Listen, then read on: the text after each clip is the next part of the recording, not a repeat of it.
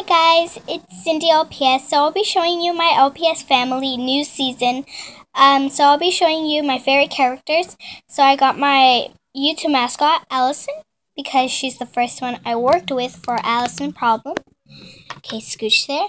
Then I have a Shopkin. I think it's called Hattie Hat Hat, but I'm just gonna call it like that.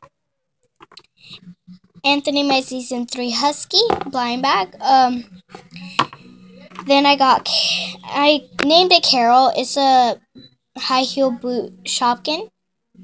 She's a grandma. Then I got Violet, a baby fairy.